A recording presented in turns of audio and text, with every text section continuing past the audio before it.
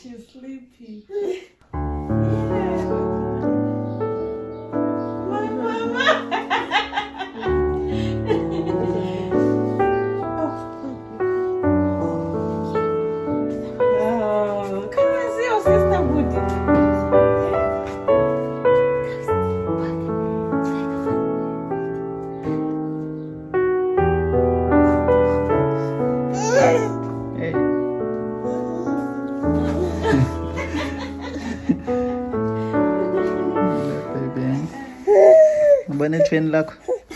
And just like that, God blessed us with a beautiful baby girl.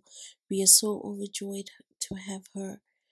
Her name is Zoe, and we are now officially a family of four. Thank you so, so much for watching. Please remember to like, comment, and to subscribe. Until next time, I love you.